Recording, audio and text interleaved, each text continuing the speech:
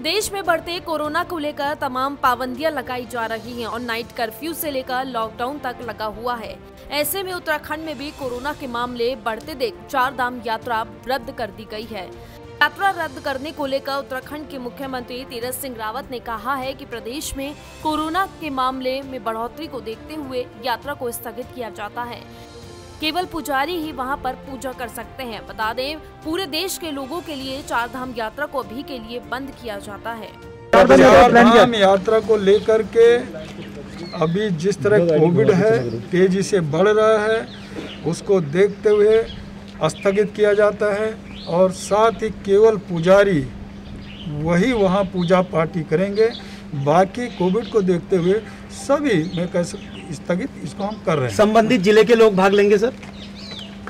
कोई नहीं केवल तीर्थ पुरोहित ही पूजा। पूजा करेंगे। पूजा अर्चना नियमित होगी नियमित समय पे आपका पट खुलेंगे।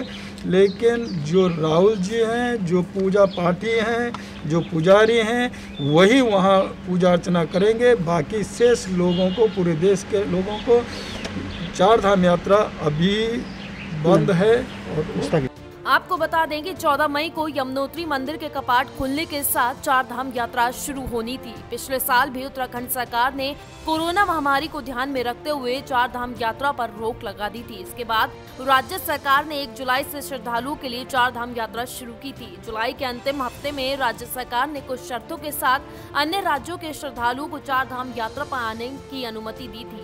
उत्तराखंड की प्रसिद्ध चार धाम यात्रा के तहत श्रद्धालु उत्तराखंड स्थित बद्रीनाथ, केदारनाथ गंगोत्री और यमुनोत्री की यात्रा करते हैं। इस यात्रा में लाखों लोग शामिल होते हैं। यात्रा में शामिल होने के लिए देश के अलग अलग राज्यों से भक्त यहाँ पहुँचते हैं। Bureau report, news world India.